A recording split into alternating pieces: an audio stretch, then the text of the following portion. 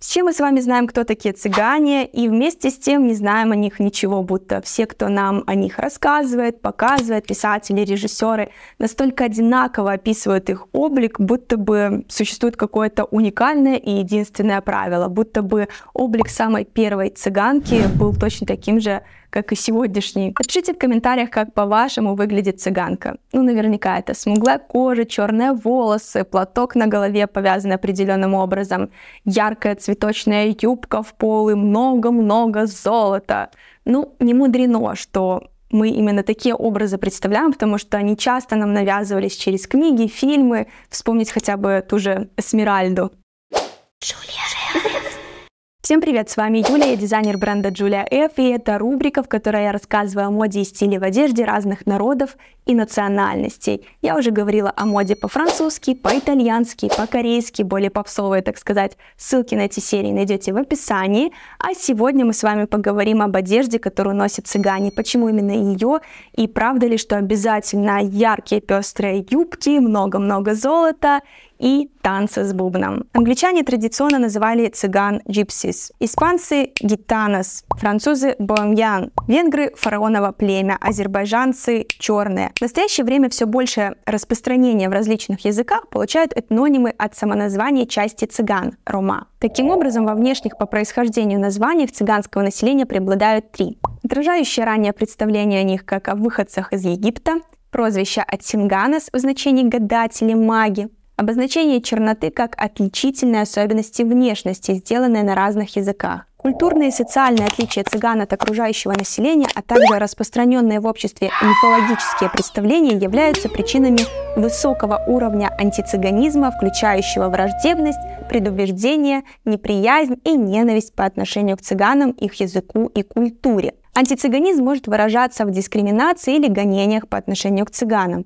Цыгане являются одним из немногих народов, подвергавшимся дискриминации и гонениям на протяжении всей своей истории. В новейшее время они одна из наиболее бесправных и дискриминируемых групп населения в Европе и России. Исторически цыгане считались колдунами и людоедами. Согласно исторически сложившемуся стереотипу, цыгане грязные, неграмотные, их язык и культура примитивны. Распространенным мифом является тотальная криминализованность цыган. Часто масштабы цыганской преступности и процент цыган, вовлеченных в криминальную деятельность, существенно преувеличены. Традиционно и до нашего времени цыгане часто обвиняются в похищении детей. Этот миф присутствует как в фольклоре, так и в искусстве. Такие литературные персонажи, как Эсмеральда и Фигаро, в детстве были украдены цыганами. Основой для мифа послужило наличие в цыганских таборах светловолосых детей. В условиях традиционной многодетности бездетность была огромным несчастьем. Для бездетных цыган усыновить цыганского ребенка было почти невозможно, поскольку в цыганской среде оставшихся без попечения детей практически не было. Заботу о детях-сиротах брали на себя ближние или дальние родственники. По этой причине бездетные цыгане усыновляли не цыганских сирот, причем не путем похищения. Теперь быстренько пробежимся по некоторым традициям цыганского народа, понять которые, возможно, и трудно, но они одни из немногих народов, кто пытается сохранить свои первоисточные традиции по сегодняшний день. Кстати, если вы хотите поддержать меня и мой развивающийся канал, буду благодарна вам за донаты по этому QR-коду, либо по ссылке в описании на Boosty. Кочевники не могли оставлять накопленное в банке и покупать на заработанные предметы быта и дорогую одежду. Неизвестно, когда табор отправится на новое место. Поэтому действовали по принципу «все свое ношу с собой» и вкладывали деньги в украшения. К слову, тяжелые многоярусные аманисты носили только замужние. Просватанной девушке позволялась разве что одна монетка на шее. В это сложно поверить многим современным людям, но во многих цыганских общинах и сегодня считается, что нижняя часть замужней и половозрелой девушки нечистая. Она называется у цыган скверной. Из-за этого любой контакт с ней может осквернить, за исключением интимной связи с мужем, даже если цыганка просто коснулась мужчины юбкой. Причем это может быть наказанием за какой-то проступок или преступление, с этого момента такой мужчина должен держаться отдельно от табора. Спать и есть отдельно, пока цыганская община совместным решением не разрешит ему вернуться обратно. У цыган считается позорным напиваться в присутствии гостей. По их традициям это неуважение ко всем присутствующим. Во время застолья и праздников всегда есть тот, кто не пьет алкоголь и следит за порядком и при необходимости предотвращает конфликты.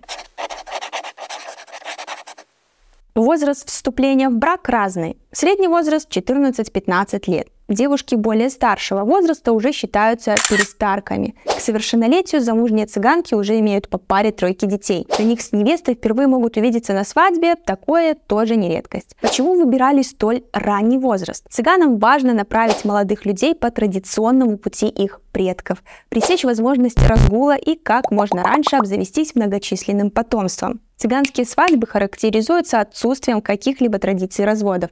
Как правило, для цыган это редкое явление. Какой бы веселой ни была свадьба цыган, невеста и ее родня часто проливают слезы, и на это есть ряд причин. Замужней цыганке запрещено носить штаны. Теперь только платье и юбки ниже колена, а голова всегда должна быть покрыта платком. Запрещены встречи с подругами. На молодую супругу перекладываются все домашние дела. Она стирает, готовит, убирает за всеми членами семьи мужа. Супруга не имеет права перечить своему мужу, о каких бы вещах ни шла речь. Цыганской женщине запрещены измены, в отличие от мужчин. На самом деле национальный цыганский костюм различался от страны к стране, менялся от эпохи к эпохе, пока не принял каких-то определенных форм. То, что в сознании большинства людей универсальный народный цыганский костюм, начали шить кочевые цыганки Румынии в конце 19 века. После того, как в Румынии отменили крепостное право по расовому признаку, и цыгане получили свободу. Это широкая юбка с фаланами, лечащий без и просторная блузка с воротом, открывающим шею,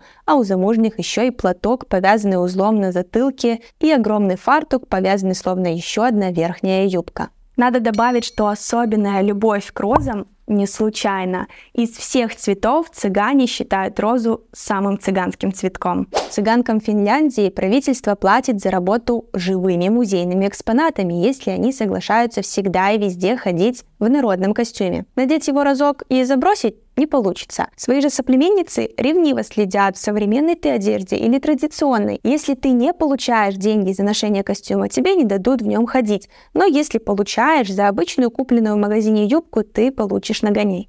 В качестве национальной одежды финские цыганки признают ту, в которой появились в Финляндии когда-то, точнее ее парадный вариант. Бархатную юбку на фижмах с серебряной тесьмой или белыми кружевами и бархатную кофту к ней. Чаще всего костюм шьется из черной ткани, иногда из темно-зеленой, сдержанной зеленой или бордовой. Чтобы ходить и сидеть в такой юбке непринужденно, требуется некоторая сноровка. Летом в костюме достаточно жарко, так что многие меняют кофту на кружевную блузку. Зато зимой никто не запрещает накинуть короткую дубленку или просто пуховик. В балканских странах и Турции цыганки очень часто носили пестрые шаровары, а также шаровары с юбкой, шаровары из юбки и намного реже юбку без шаровар. Платок на голове повязывался так, чтобы одним углом свисать по спине. От мусульманских соседей цыганки отличались тем, что никогда не закрывали лиц, и в целом одежда у них была легче, в меньше слоев, чем у соседок. Могли быть также спокойно открыты руки до локтя, шея. Волосы почти обязательно выглядывали из-под платка. Цыганами в славянских странах очень ценились местные рубашки с вышивкой. Носить шаровары или нет был выбор не связанный с религией. Православные балканские цыганки тоже спокойно их надевали и танцевали танец живота. Немецкие, французские, венгерские цыганки отличались тем, что зачастую носили довольно короткие юбки. Не по нашим меркам, конечно, а по сравнению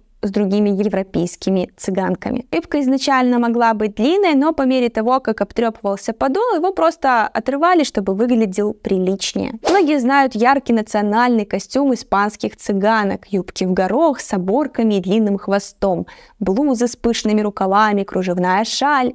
Правда, ассоциируется он обычно только с танцем фламенко, который как раз традиционно исполняли именно испанские цыгане. Такой вид национальный наряд тоже принял довольно поздно поздно. До второй половины XIX века хитаны одевались куда проще и скромнее. Зачастую их одежда ограничивалась юбкой с относительно коротким подолом и блузкой, открывающей шею но тогда и петь, танцевать их звали намного реже, и в ярком народном костюме не было необходимости. Интересно выглядит традиционный костюм английских цыганок. Он удивительно похож на костюм, в котором идет по лесу английская красная шапочка.